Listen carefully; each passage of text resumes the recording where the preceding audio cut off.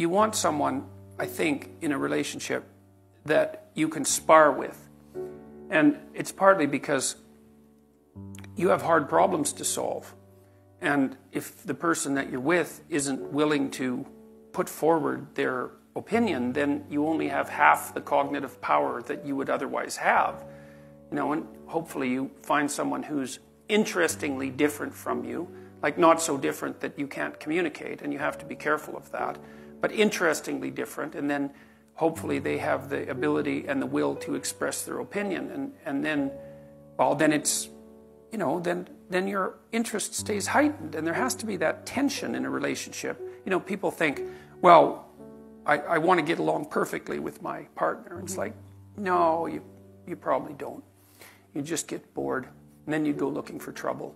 And so you want a little bit of trouble in the relationship, and a little bit of mystery, and a little bit of combativeness, and, and the ability to exchange opinions forthrightly. And, and I trust her, which is a huge element. I mean, when, when we finally did decide to get together permanently, we were both in our later 20s. And, you know, one of the things that I had learned by that point and insisted to her about was that we had to tell each other the truth.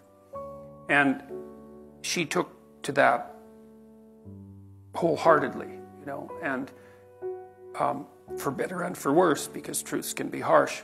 Does that but, include like does this outfit make me look, like that? yeah, well, the truthful answer to that is I don't answer questions that are likely to get me in trouble. yeah, so. Uh, my, I have a son who will answer honestly, and it's infuriating. But then I realized if you want the truth, talk to Tamara. Well, well, that's the thing. You know, it's it's useful to know. Um, the truth is empowering. Truth tellers are charismatic, and you know, actually, both my sons are like brutally honest, which mm-hmm. is disconcerting. Yeah. But but it's, it, I can see that it's made them very formidable. And, and because of people trust them and the friendships, and just it gives them a. And you've written a lot about this. Well, you know, if, if I tell my wife that she looks good in an outfit, she knows that I mean it. Yeah. And so there's some utility in that. And then if you're silent and say I don't answer questions, that she, she goes and she knows well, it. well, sometimes sometimes you know she'll say you know do you like this, and yeah. I'll tell her that yeah. I don't, and yeah. and you know and, and no, that that's, doesn't that's necessarily useful. make her happy in the moment, right. but um, but if I do say I like it, she knows that I mean it, and you know I actually like her sense of style a lot. So it turns out that 90% of the time it's pretty easy for me to say, look, I think you look great, and mean it, mm-hmm. and. Uh, you know, she's a fairly harsh standard bearer too. Like she's she's insisted that I stay in whatever reasonable physical shape I happen to be in. You know, that was that was something that she's very demanding of, and I would say that it's the same from my side. And um, and we've been good at negotiating, mm-hmm. which is, you know, what do you want from a partner fundamentally? What what do you want and need? I mean, the first thing is is that, well, hopefully you, like I said, you're blessed with the fact that you find each other attractive. And I think it's very difficult for the relationship to begin or proceed or sustain itself without that. But having that, then what do you want? Well, you want someone that you can trust, you want someone that you can build a view of the future with, and you want someone that you can negotiate with. And that's very hard to negotiate with people because they have to tell you what they think, they have to know what they want, or figure it out. They have to tell you what they want. They have to be satisfied when they get what they want, which is also a very difficult thing to manage. And you have to continually update that because your life goes through different stages. And well, and your attraction wanes, as we all know at our stage of life, not fatally necessarily. Speak for yourself. but but no, but you will go. I mean, you will not be 25 forever. So so that that has to be renegotiated. Yeah, well, well, and you have to work at that too, right. you know, and, and that's something that people also don't understand because they tend to think that, well, that that all romantic interaction should be spontaneous.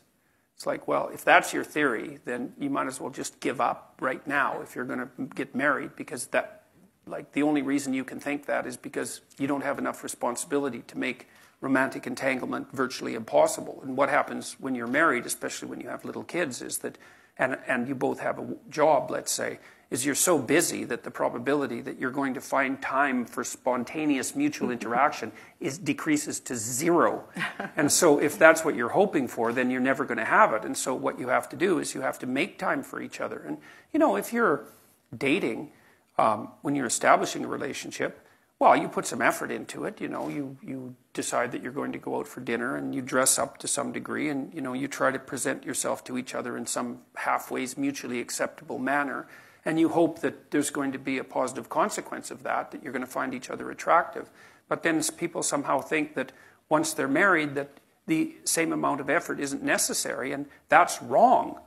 I would say more effort is necessary on the same front. And, and you have to think it through. It's like, you know, if you don't want to be bitter about the intimate element of your relationship, how much time do you have to spend together each week? And my, my rule of thumb, sort of derived from clinical observations, is that you need to spend 90 minutes a week with your partner talking.